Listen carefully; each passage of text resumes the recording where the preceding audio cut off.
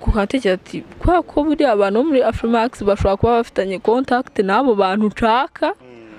Bazamfasha kumenyekana abantu bamenye. Hari abantu bashobora kwibaza ese umuntu eh, eh, ubana n'ubumuga bwo kutabona ni gute yamenye Afrimax kuko ni we watwandikiye kuri eh, kuri Instagram. Abantu bashobora kwibaza ese eh, eh, nk'aya makuru ya Afrimax yaca kuri YouTube kandi amakuru yo kureba usibye ko uranabyumva? Ariko eh, Yvonne ayareba gute? Abona gute? Kuko inkuru nyinshi za Afrimax numvishe ko urazizi. Ndashaka kubaza ukuntu wamamagaye uyu munsi cyangwa ukuntu ujya ufata telefone ukamamagara Hello Bakti ubikora gute?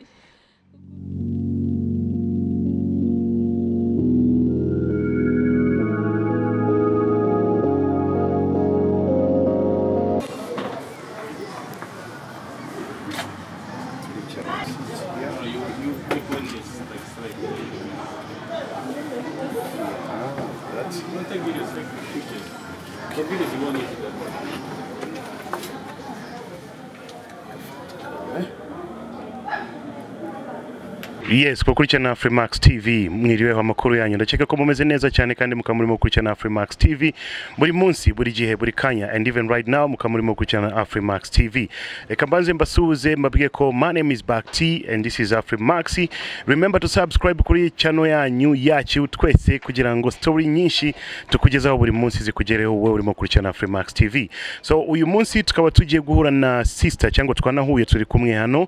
Eh, n'umusista wacu akaba yitwa eh, Yvonne. Yvonne akaba n'umusista ubana n'ubumuga bw'amaso nago abona ariko akaba afite eh, ubushobozi bwo gukora ibintu byinshi bitandukanye. Ku batamuzi eh, bashobora kuvuga ngo uyu muntu eh, iyo atabona hari ibintu byinshi adashobora gukora ariko we afite ubushobozi bwo gukora ibintu byinshi.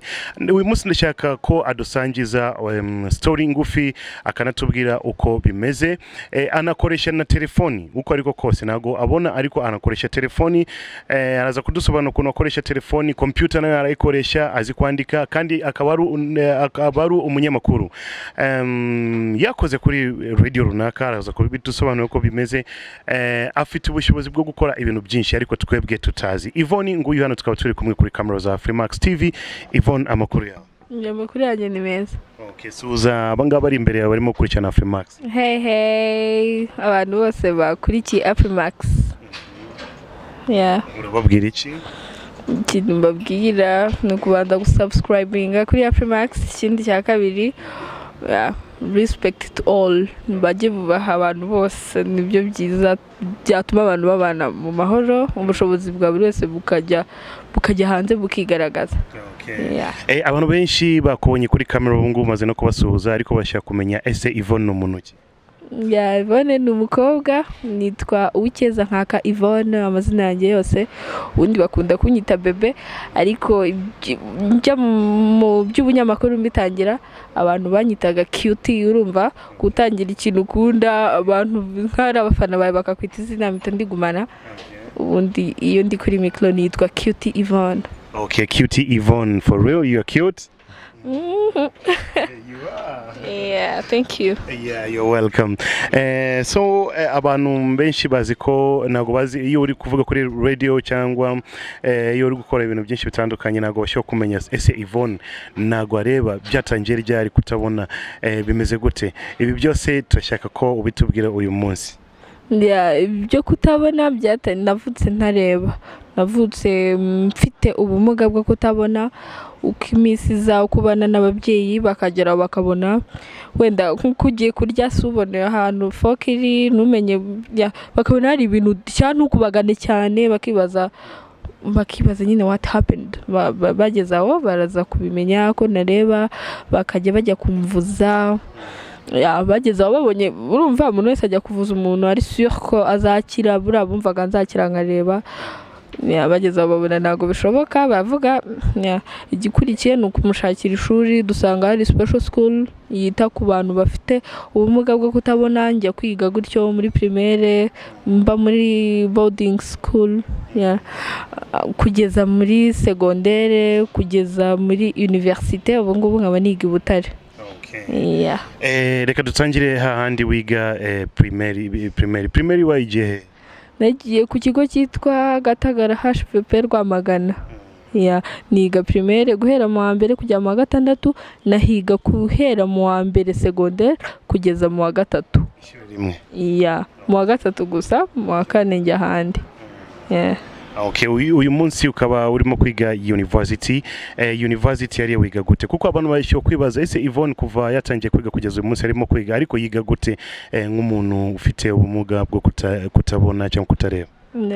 Ukuntu niga rero hari inyandiko uko wumva umuntu utabona ntabwo aba areba urumva ntiyakwandikisha bike bisaba kureba ntiyareba kuri blackboard bisaba ibyo byose bisaba kureba. Hari inyandiko dufite yitwa braille niyo iri iri ni ibintu ukoraho ukabyumva. Iyo urumva deja izindi sensi zose zacu zirakora cyane. Noneho wenda sinzi niba zifata umwanya utari kubona zikaba shapu zigafatana hahandi uwo ari kureba zikahatwara niba ari ukumvisha amatwi bikaba ari cyane niba ari ugutesitinga uburyohe bw'ikintu niba ari ugukora ku kintu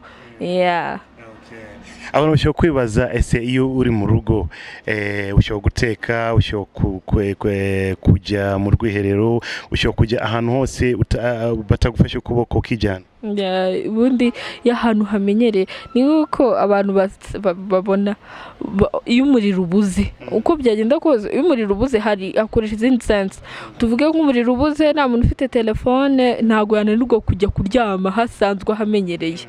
Ariko iyo utahamenyereye saba wagenda ugwira ibintu urumva ko utahamenyera ariko iyo uhamenyereye iyo uba mu rugo iwanyu urumva ahantu uba day to urahafata niba ari ibyo utekesha ubuze ahantu bibikwa ukabikora nawe umeze nk'abandi bakobwa bose.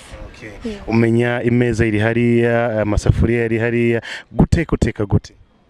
Guteka ni ibintu biri normal gusa ikintu ngiye nkora kidasanzwe ntabwo nyamata ibirayi nabyogeje ni cyo kintu nabonye kitameze nk'icy'abandi. Ubanza kubyoza. Baza kubyoza na- ariko ubanza bidaturuka kutabona ntabwo ibintu biriho imyanda mba numva binjena. Yeah.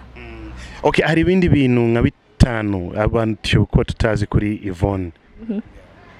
cyambere I- ibintu abantu batanzeho dushobora kuvuga wenda uriya muntu utabona yishima gute njyewe nkunda guhevinga fani ngira abashuti benshi wenda babona n'abatabona dushobora kujya koga dushobora kujya kubyina dushobora ibintu byose bi- ibintu biri dushobora kujya muri shutingi ibintu byose nyine biri normal abantu bose uko isi igenda uko isi iba moderne niko nanjye mba moderne niko ndi updated mu mutwe cyane cyane. Mu buzima bwa buri munsi bwa Yvonne iyo atagiye ku ishuri aba ari gukora iki? Mu buzima busanzwe. Njye ntinya kuba igihe kinini mu rugo nta kintu mara. Mba numva ndi nko gusubira inyuma gusubira inyuma kandi nkunda gutekereza utuntu twinshi. What is next? What is next? Ubwo rero iyo ndi mu rugo iyo ntari ku ishuri mba ndi nko gutekereza ubu oya iyo ndi ku ishuri. Mba ndi gutekereza ubu noneho muri detente nzahakora iki nzajya wenda bwa mbere igihe nagomba kuba narakuze urumva iyo uri umwana iyo uvuye ku ishuri ugomba kuguma mu rugo ukamera nk'abandi bana niba ari amakosa ukayakora niba ari byiza ukabikora kuganira n'ababyeyi gusohokana ibintu biri bisanzwe. Ariko aho nkuriye aho ndangirije wenda sinya segisi nagiye kwiga ibintu bya ICT cyane. Numvaga niba utabona kugira ngo ube develope ICT niyo ibintu byose ni ICT njya kuyiga cyane aho ngiriye muri mu wa mbere muri university. Nigaga igikondo ni bwo igihe nagombaga kujya mu rugo nagiye gukora kuri Kigali Today. Tutarajya kuri kigali turebe ugiye gukoraho nka presenter. Eh, reka mm, twibaze ese eh, hari ibintu umuntu cyo kwibaza ese Yvonne ni ibiki akunda ni ibiki yanga mu buzima bwa buri munsi? Ubundi ikintu cya mbere nkunda nkunda itangazamakuru. Ariko hari n'ibindi bintu bifata just having a fun wenda atari atari nk'ikintu wagira ngo umwuga nkunda kuririmba. Ikindi nkunda kuganira. Nkunda kuba ndi kumwe n'abashuti banjye nkunda kwishima. Ubundi nta nyapfa guceceka. Biragoye. Keretse iyo ndi gukora examen nubwo mba ncecetse ariko ubundi buri gihe ndaba ndi kuvuga kwa kundi wenda abantu baba bari busy muri fone ntabwo njye mbikunda. Keretse wenda iyo mbonye akantu kari interesting nkaba nkarimo ariko nabwo few minutes. Nkahita mbivamo nkivugira ikintu nanga ikintu nanga nanga umuntu uminimiza nyine akanyeka nta kintu mbashije. Kandi je suis sûr que mbashije ibintu byinshi. Ndi full package sinumva rero ukuntu umuntu from nowhere aza aka- akaminimiza ndabyanga nkananga n'umuntu utabika ibanga. Abo nanjye ndabanga cyane abantu batabika amabanga y'abantu ntabwo ari sawa. Ntabwo ari sawa. Eh, okay Yvonne avuga indimi zingahe? Oh, mvuga ko abanyarwanda benshi bakunda kuvanga indimi. Njyewe nanjye mvuga icyongereza nkakivanga n'ikinyarwanda nubwo nyine mba nshaka kutabivanga urumva bikanga gukomeza wumva abantu babivanga kuba muri monde babivangamo. Igifaransa nkagerageza igiswahili iyo bakivuze mba ndi kucyumva ariko ntabwo nakivuga. Yeah. Let's speak in English now for like one minute. Uh, explain people uh, how Yvonne uh, goes to school and the activities she's doing like every day in her life um, in English, so that they can they can know that Yv- Yvonne can speak English very well. Yeah. Oh, how I can go at school. I can use oh, all people around me. I can tell someone who is near from me. Oh, can Like like me?" like let, let's start. with You you're, you're from home. You're going to Butaro University. Uh, from home, how do you go? I was uh, you need somebody to escort you. Yeah, when I'm at home, uh, of course I have siblings like four. They used to love me. They used to take care of me. They they take me like daughter of her father. Yeah, nothing can touch on her. Let us be on her side, so they can accompany me to take like motorcycle, and that motor take me to Nyabugogo, and um, I can tell someone who is around me. Like when you're around me, I can tell, mm, can you help me? Because I have visual impairment problems. So um, normally people, there is no one who can refuse. Yeah, mm, and he, she or he can hold your hand and take you to like volcano or Rizzo. I don't know. Yeah, and You go to Butare. yeah, and After go you reach Butare now. and and l- last method like to tell someone around you that please can you help me?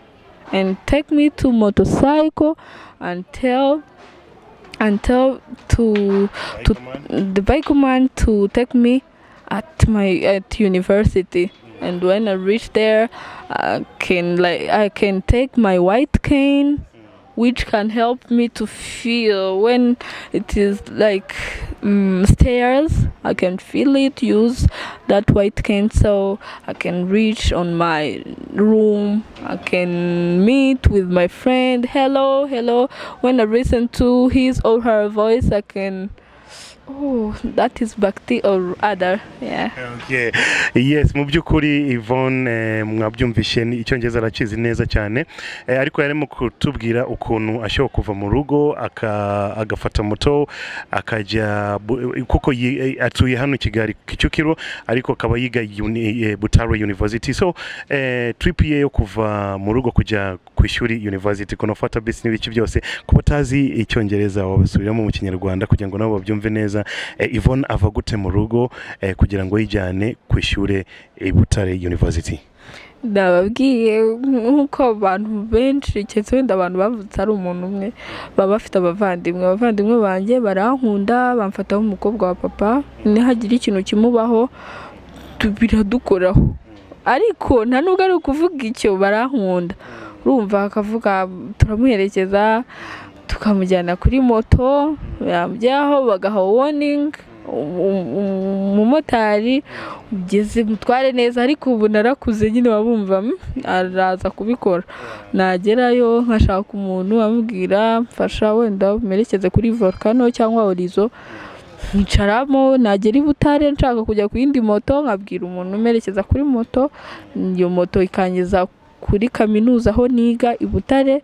Nahagera ko kuko mpamenyereye nkafata inkoni yanjye y'umweru imfasha kuko ntabona ishobora kumva nk'uko inkoni ibyumvishe nawe inkoni ikoze kuri esikariye yabyumva. Ya nkamanuka wenda izo esikariye najya mpura n'abantu abantu muhuye bavuga ivone bite? Ni byiza ni byiza kanaka kuko nzi ijwi rye nshobora kumwumva.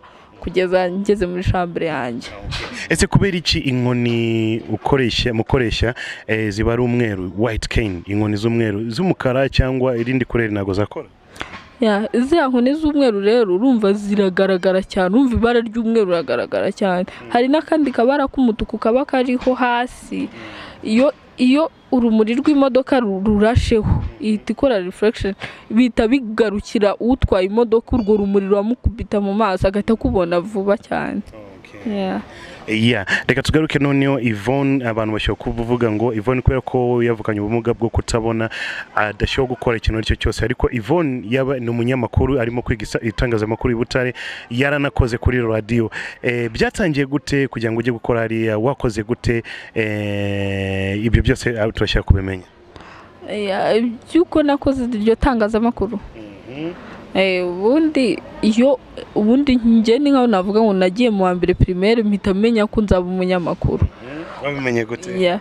Kuko iyo ugiye ku ishuri wenda wumva abantu bavuga wenda ngo umuntu utabona yiga indimi akiga itangazamakuru. Niko kera bari bazi usibye ko batari byo biga byose.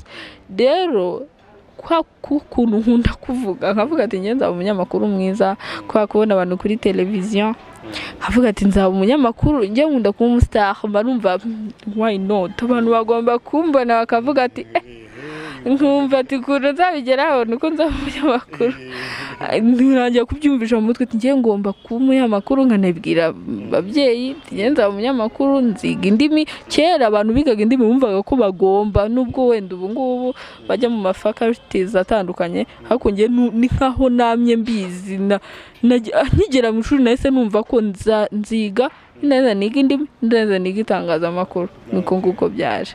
Noneho kujya kuri KT radio gukora nka presenter?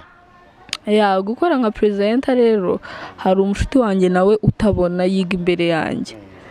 Hari hari umuntu batumiye mu ishuri ryabo ukora itangazamakuru. Sinzi ikintu akuriye ashoboye kuba akuriye ikintu cy'itangazamakuru ntazi ntabwo ibyo nabyitayeho cyane. Arambwira ngo nyamara ibintu twiga birakomeye ntabwo nta kintu tuzageraho ntabwo tuzaba abanyamakuru tuse kubera iki? Arambwira impamvu ngo hari umuntu batumiye nyine nuko ntamwibuka. Ngo aravuga ngo umunyamakuru ngo ukenewe ku isoko ry'umurimo ngo n'ubashije gukamera. Nyine atondeka ibintu icumi umuntu utabona atashobora gukamera kujya kuri tere nyine ashaka utuntu icumi bambwira ndavuga ati uzi ko bya bintu ntazabiba? Uzi ko nigira ubusa? Ntangira kugira ubwoba. Ntabwo nzaba umusitari ntabwo nzaba umunyamakuru ndiheba ntangira kuvuga ati "Mm, bya bintu ntabwo ari byo nize ngomba kwiga ibindi. Ndavuga ati ariko koko bizagenda gute? Ahubwo ngomba kujya muri radiyo nkamenya ati ndabishoboye cyangwa wapi? Ninsanga ntabishoboye nzajya mu yindi fakirite ninsanga mbishoboye kumemo ariko nkavuga ati si my passion sinumva ukuntu nzaba gukora ikindi kintu. Ibindi bintu byose numva yego hari ibyo nashobora ariko mba numva ati "Mm, mm." mba numva naba hari nk'ikintu mba numva naba mpemukiye hari umuntu mba numva naba mpemukiye naba mpemukiye umutima wanjye. Noneho muri uko kubitekereza kuvuza ubu nzajya gukora stage nkatekereza ngo nzajya kuri KFM nzatega njye. Nyine mu gihe nyibaza utubazo nk'igihe nkavuga ati nta muntu nzuzi na radiyo rwose nta makuru na make mfite. Keretse kubumva gutyo. Naneba wenda kwa kundi uriya mubyeyi ashaka kumfasha papa wanjye ntahuriye na byo akora mu bindi mama wanjye ni uko abantu tuvugana ni uko mvuga ati nzabigenza nte?" ariko ngira chance mu gihe nkiri muri icyo cyifuzo. Umudogiteri witwa christophe kayumba abantu baramuzi aratwigisha. Mu kutwigisha natwe hagera hahandi batuzanira wa abantu bageze ku bintu bikomeye mu itangazamakuru. Atuzanira umukuru wa kigali today. Amuzanye icyo gihe nari nagize chance nagiye mu ishuri. Hari ukuntu ushobora gusiba gato. Ukabura rasi. Uwo munsi rero nari nagize chance ndi muri classe amuzanye abana bakamubaza uyu yagiye he? Ibintu mva nta sensi bifite nyine. Avuga se ibintu bari kumubaza ni ibiki? Reka nawe mubaze. Ubundi njyewe ntabwo nkunda wenda kuvuga cyane muri classe mba numva ari nko kuderanje mba neze amatwi ndi kumva ibyo umwarimu avuga ari byo ndi attentive. Icyo gihe ariko nkavuga ati ndamubaza ati "Kuzu- uti mbonye umuntu uzi radiyo urumva yaraje mu gihe cyanjye cyiza cyo gushaka radiyo cyane cyane. Haje ndamubwira ati se umuntu utabona aje kuguza akazi wakamuha? Ngiye mubaza Eh, umwarimu ahita avuga ngo tuzamenya ku mbuto mwera ntabwo tuzareba ibyo. Ndavuga ati nshaka ari unsubiza aransubiza ngewe nta kibazo nakamuha. Abishoboye nakamuha ariko nta nubwo nakamuha kuko atabona mugiriye impuhwe. Ntako namuha. Ndavuga ati eee ngewe rero nta mpuhwe nteye ndabishoboye. Nshaka nyine wumva nshaka radiyo barambwiye ngo ushaka sitaje ndavuga yego. Ubwo urumva yarankoreye imana yari yamunzaniye ngo ankorere cya kintu nshaka maze igihe ntekereza. Ubwo hashize igihe nkabaza lecturer za nimero za wa muntu gutyo urumva gutanga izo nimero ku bana biga itangazamakuru ntabwo byaba byoroshye buri wese yajya amuhamagara. Nkavuga ati njye zimpe rwose zimpe inbox njyenyine. Hashize igihe hashize umwanya mbona arazima mpitamuhamagara akambwira icyo gihe ngo bakora ibintu yitwa restruction byo guhindura porogaramu uko radiyo yari imeze siko bayigumishije. Ngo twari nko mu kwa kane aramwe mu kwa gatandatu. Uyu mwaka cyangwa umwaka ushize? Umwaka ushize. Okay. kwa gatandatu kuragera tariki ya mbere ndamuhamagara.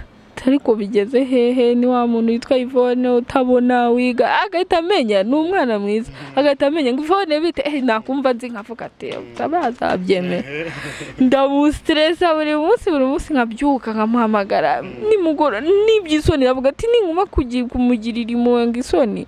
Sinzabona ikintu nshaka ndashaka kumenya nshoboye itangazamakuru cya wapi? Bigeze aho hashize igihe kinini. Naraniyebye nkavuga ati aba nyine abanshyira ku cyizere ngo nababara ariko ntabyo azankorera. Numva rimwe ndi muri resitora umuntu arampamagaye ariko ndabyihorera kwa kundi ushaka kumva fone irangiye iki komeza ndirira ndabyora mbonye nimero. Ndavuga ati izi nimero ntabwo nzi zikanzihamagara mpamagaye umuntu arambwira ngo ni radiyo director wa keti radiyo ndavuga ati arambaza ngo uri ndavuga ye nanga ngo barakumbwiye nyine ambwira byose arambwira ngo kuwa mbere nzaye kumureba. Eh kuwa mbere twari dufite ibyo ntabwo nkibitekereza nkabyuka mu gitondo kare nkatega moto nyine nkabibwira unjyane kuri keti radiyo aha ndahagera turavugana arambaza ngo nzi abanyamakuru njye ibintu by'abanyamakuru ubundi guhera mfite senka nari mbizi kumenya ngo ba kera kera kera guhera kera ibintu bya radiyo nta kintu nazi. Ya, ndavuga ati ngewe ibintu byose ndabizi. Abanyamakuru hano ati bose mbwira mbakubwire. Biki? Aravuga ati rero tuzongera tuguhamagare. Ndataha. Nkajya noneho mva kuri wa mubosi njya kuri radiyo director nkamustresa nkavuga ati ndashaka kuza. Nkaterega ntiturahindura. Kandi uzaza wowe mu bishyashya ya igihe kiragera byari cumi n'eshatu z'ukwa munani. Arambwira ngo uzane ibaruwa isaba uzane recommendation yo ku ishuri ryanyu nyine yemeza ko wiga ku ishuri. Ndavuga ati buriya ndabijyana ntahe yongera azambeshye nkumva ariko ati nta kundi ye nzaba stressa tubaza.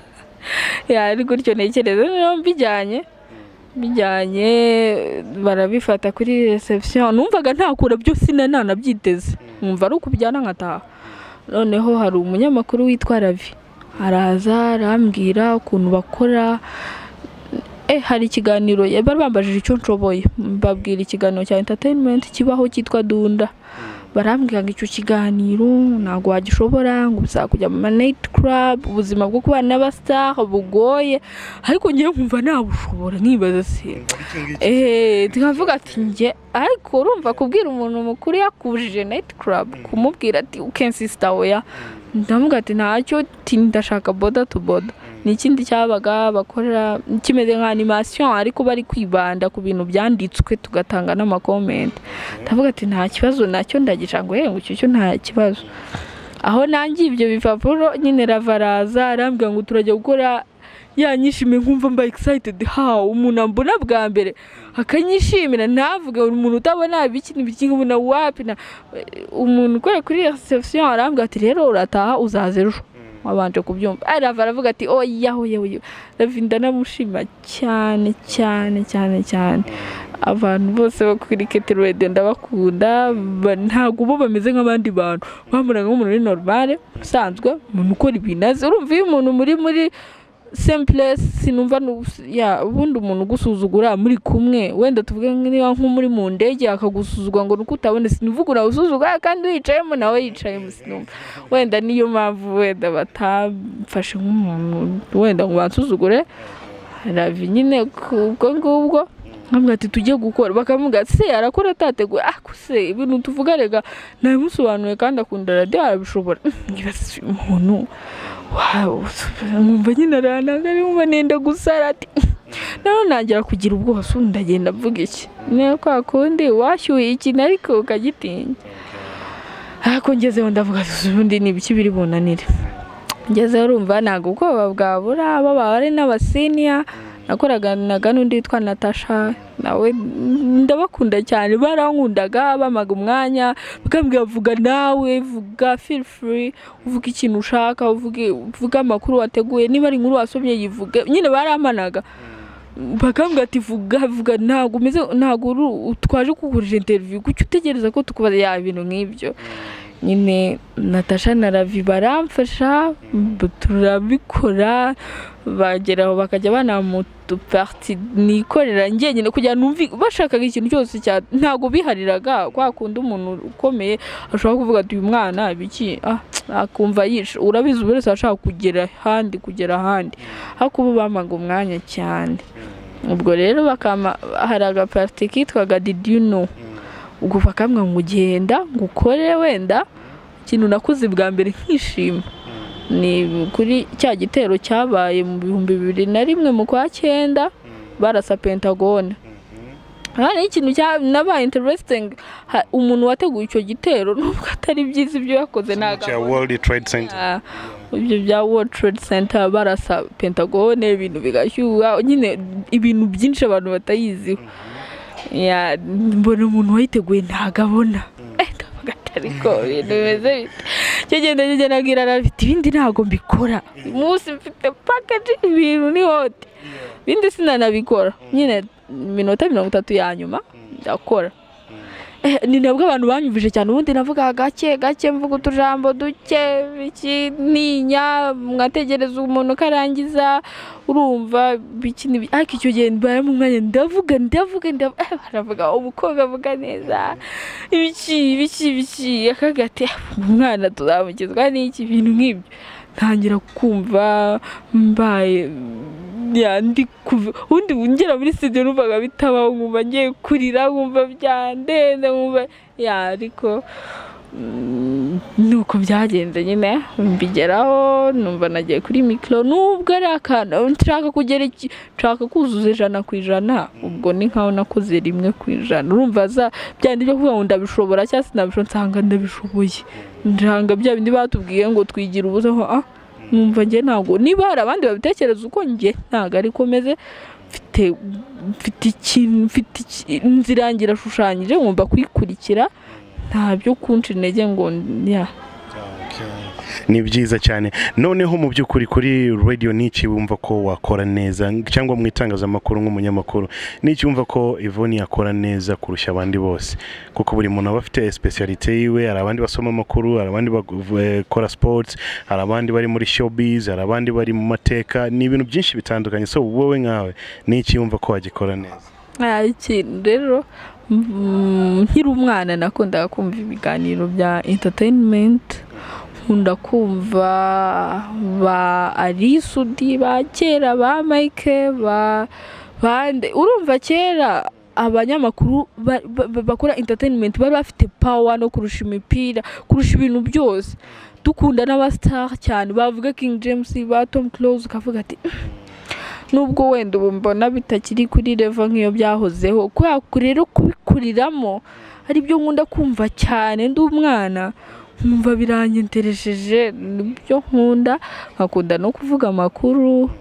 Ko umuntu uvuga amakuru mba numva azi ubwenge. Aranafunguka nk'ubwo nkora kuri keti radiyo urumva kuko nikundaga iby'abahanzi nageze aho nkajya menya minisitire byagenze gute ntangira kuba interested ntangira kumva nkunda kumenya realite yo muri politiki ntangira kugiraho notion ntangira kumenya uko itegeko byagenze gute byagenze gute ubundi niberaga muri iyo si ya entertainment ariko ni byo kwa kujya kuri radiyo akaba ari byo bampa narabikunze navuga amakuru nakora n'ibya entertainment. Eh, reka utu- tubwire make uzi kuri entertainment yo mu rwanda ubu ngubu ihagaze gute?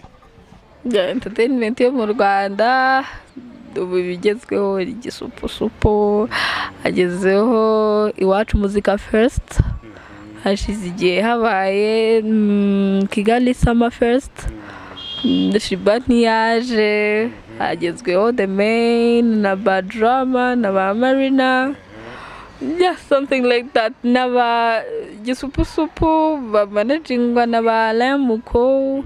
Ya ni ibintu n'ibyo bicundenga cyane ni byo bigeze eh na- n'umwana watwaye am the future witwa witwa witwa france yeah. Nice. Mu by'ukuri showbiz cyangwa entertainment urayizi cyane. Eh, so nurangiza kwiga urashaka gukora iki? Nindarinda kwiga of course ndashaka kuba umunyamakuru. Ndashaka kuba umunyamakuru pe kwa kundi ushaka ikintu ukajya ugira ngo hari nk'ahantu ngemeze nk'aho nzarangiza kwiga nyine. Numva ari itegeko nk'uko tuvuga wenda ngo ni nk'uko ari itegeko ngo se ni iki kintu cy'itegeko koko dufata nk'uko tugomba kurya. Ko tuzi ko utariye wapfa. Niko numva ngomba kuba umunyamakuru ngomba kuba umu MC ngomba kuba umuntu uri high exposed. Ngomba kwerekana my ability. Ngomba nyine abantu bamenye bajya bavuga kiti Yvonne bavuga ati this is it. Abasore bakunze kuvuga ngo alhamdulillah inshallah abakristo bakavuga ngo amen. Eh, noneho eh, hari abantu bashobora kwibaza ese umuntu eh, ubana n'ubumuga bwo kutabona ni gute yamenye afrimax? Kuko ni we watwandikiye kuri kuri instagram. Abantu bashobora kwibaza ese eh, eh, nk'aya makuru ya afrimax yaca kuri youtube kandi amakuru yo kureba usibye ko uranabyumva? Ariko eh, ivoni ayareba gute? Abona gute? Kuko inkuru nyinshi za afrimax numvishe ko urazizi. Rero ukuntu ukuntu byaje ibyo ngibyo. Nararebye mbona ndakora. Wenda abaturage nibo bakumva wenda n'abandi. Ariko wenda baratekereza ndabona. Ibyo ntibabitindeho. Kavuga hari abakobwa bamaze kuza muri industry hari ba Sandrine hari ba Antoinette n'abandi bakobwa benshi bamaze kuza muri industry. Urumva ntibabitindeho. Nkavuga ati ariko ku bantu rero ntabwo nyine wenda niba ibyo bitangaza narabikoze nta ahandi ntibazamenya ko ntabona nzagenda nimamara kubona ko ntabona. Bavuga ati ah si ubu wabishobora si ubu wenda hano nta facilities dufite z'abantu bamugaye iki utu two tu excuse nitwo nashakaga kwevita ubundi kugira ngo iyo ide ize. Noneho ubundi nkunda ubunyamakuru no kuba nk'uko nk'uko nabikubwiye. Noneho ndatekereza ati kugira rero abantu babimenye. Bamenye nanjye bamenye ko ntabona. Ni uko nzaba expose bakambona nkabibabwira. Kuri none ibyo bya Freemax ukuntu byaje. Ni uko nzi ko ibintu ya uploadinze nkabona ifite subscribers benshi. Ubona gute? Nibo bashobora kwibaza.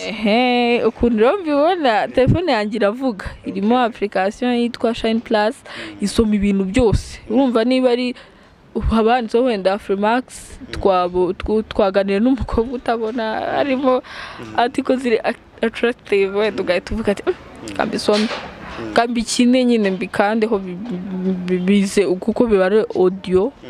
Yeah.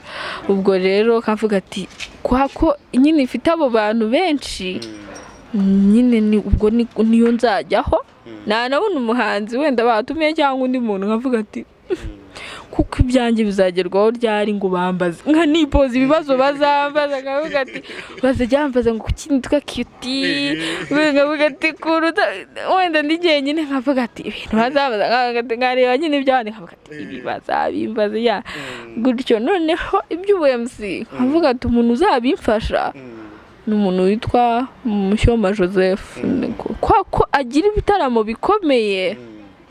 Azamfasha. Mbu wenda wakoreshaga guma guma ubu ngubu asigaye akoresha iwacu muzika first na ba badrama. Eh, ni badrama nakundaga kutwa nkunda kubona utu interview twe ari kumwe na ba marina bashyigikiye wumva? Havuga ati bubu uriya nyine joseph. Azamfasha. Wenda mpe kwasisitinga umu umu MC we yazanye. Nanjye ni mwasi urumva abantu niba babwira ati this is it this is kitty ivone njye ntabwo mbona ngo murabyumva gute? Ya something like that. Baba banabibonye. Yeah. kandi byaba ari byiza ukajya kwemusinga utari no kubona nkavuga ati ibyo ni byo nzakora nubwo ntarabigeraho byo bana ntarabageraho. Nkavuga ati rero kugira ngo ibyo mbigereho n'ibyo ngibyo ukuntu bizabanza. Nzabanza njye kuri afurimax kuko nyine nakubwiye gira aba subscribers benshi ukunda kugira views nyinshi bazabibona. Noneho kuhatekereza ati kubera ko buriya abantu bo muri afurimax bashobora kuba bafitanye contact n'abo bantu nshaka bazamfasha kumenyekana abantu bamenye. Tayari wamenyekanye ze yaba nangeze wenda kuri abo ba bubu ba badrama abantu bategura ibitaramo noneho abantu bamenye wawo wa muntu witwa kiti ivone ni ni ntago areba akora ibintu bimeze kuriya. Ya nuko icyo gitekerezo cyaje. Eh, mu by'ukuri eh, eh, ibyi- ibyifuzo byabagezeho. Kuko kuri Afrimax ndakeka ko nimba bo batabibona hari abandi bari babwire ko babibonye nabo bazabireba. Uko ariko kose byabagezeho. Ikindi abantu bashobora kwibaza ese Yvonne eh, arakundana? Afite umukunzi? Oya ariko ndakundana noneho abantu bashobora kwibaza ko atareba umuntu ashobora kuba yifuza ukuntu ashobora kuba asa ivunesha ku muntu usa gute? Rero ngewe ntabwo nkunda physical appearance. Nkunda umuntu inyuma ngo asa gute asa gute ibyo i don't care. Kandi ntabwo ari uko ntabona. Ahubwo ni uko numva ibyo nta mumaro wabyo ntabwo mbiha agaciro mu mutwe wanjye. Abantu bamenya gute se Yvonne abantu rero ukuntu bavuga wumva ukuntu bavuga mbazi ukuntu umuntu avuga hari n'igihe wenda umuntu ashobora kuba yitera parufe wumva ukavuga ati wenda nubwo ushobora kumwitiranya n'abandi nubwo iyo ereriya usibye ko bitapfa kuba umuntu mba muzi ijwi rye niyo twahura rimwe. Nkavuga ati "Sha, ahantu wenda muri iki gice harimo bagiti kuko wenda ndi kumva simera yiwe n'ijwi rye wumva kumenya abantu. Yvonne njyewe ntabwo eh, uyu munsi ni ubwa mbere twavuganye ariko ntabwo bijye kurangirira aha ngaha.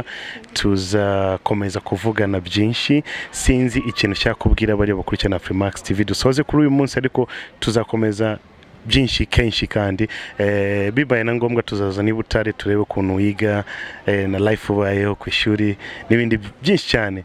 Ariko kandi inzozi zawe uko ariko kose eh, ndakeka ko mu minsi iri imbere urangije kwiga uzazigeraho. Ya wirifuza iki ku bantu bakurikirana Afrimax TV cyangwa urababwira iki? Nta kintu babwira ni uko mm, ndabakunda abantu bose ndabakunda abantu bakurikira Freemax abantu abantu bose n'abanyamakuru bumvwa n'abo bantu bose. Kandi nshaka kuba umunyamakuru bazajye ba- ba- ba- ikintu mbashakamo ni ukuva kuri sitepu imwe bakajya ku yindi. Ntabwo byoroshye wenda kubona umuntu utabona ngo umungane uhita wumva ngo havuga se umuntu utabona hari nk'umuntu ukubaza se umuntu utabona yavuga amakuru ese ibyo bintu bihuriye ahubwo kuvuga bike? Ndashaka ko ba- ba- ba- bava ku ahantu hamwe bakajya ahandi bava mu bitekerezo. Nk'uko kera ntabwo twari tuzi smartphone sibyo kuki se twamuvinze tukemera digital era ikatujya mu mutwe? Tukavuga ati instagram i take it like my life. Ubu ngubu twabimenyereye whatsapp umuntu ushaka kuba muri kumwe kuki twamuvinze tukajya muri iyo era? Kuki tutava mu bujiji buvuga ko umuntu utabona nta kintu abashije? Kuki tutamuvinga? Kuki ibyo byanga? Ndashaka ko bibavamo bigahinduka. Uko twavuye ubwo kera kera byatangiye ibintu nigeze kumva bavuga ukuntu kera beditingaga bakataga kasete ngo bagakebanga ibiki n'ibiki. Ibyo kuki twabivuyemo tukamenya gukoresha dobe ibyo rero niba twarabimenye tukabireka. Kera niba impara ari zo twumvaga zonyine ubu hakaba haraje abantu benshi haraje za kinyaturapu tukazumva hakaza ba jay polly tugafana hakaza ba king james. Kuki tutava nshaka ko aho handi hantu? Wumva ko umuntu umugaye umuntu utabona umuntu utavuga umuntu utagenda umuntu ugendera mu kagare. Abantu bafite ubumuga bugiye butandukanye. Kuki wowe tukiguma muri ya era ivuga ko ntacyo babashije? Niba babasha kujya ku ishuri se hari nk'igihe nk'umurekishura nawe ashobora kuvuga ikintu ngo ntugishoboye. None se yakwigisha ate? Kuki we niba umuntu rero ufite izo za metirize afite yarize ibintu byinshi acyumva ko umuntu utabona akavuga si ubundi mwe mudakoze egizame mwabiki? Niba umuntu nk'uwo kuki uwo batamuvinga? Ave ahantu hamwe uko adutekereza ajya ahandi. Kandi urumva niba umurekishoro wanyu akibafiteho ibibazo urumva abandi bo ni kure kubi. Ndashaka ko rero abantu bose duhereye kuwo hasi kugeza ku hejuru hejuru y'abandi. Amuvinga akava muri ya era yo kuvuga ko ntacyo tubashije akajya muri era ivuga ko bameze nkatwe ni ibintu biri normal. Nice cyane. Eh, tunasoza ndashaka kubaza ukuntu wamamagaye uyu munsi cyangwa ukuntu ujya ufata telefone ukamamagara haro bagiti ubikora gute? Ukuntu nabikoze. Ndashaka kumamagara reka ngufashe agafanta kawe. Eh, ndashaka kumva ukuntu ugiye kumamagara. Ne.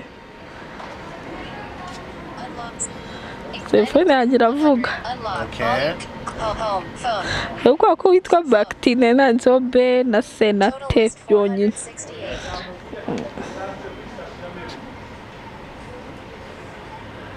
Home app phone. Phone phone. Total list 468. Search contacts. Sh- search co- C. B. B. B. C. C. T. T.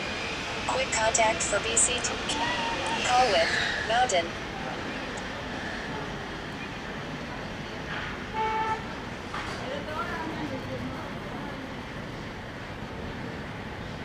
Checked.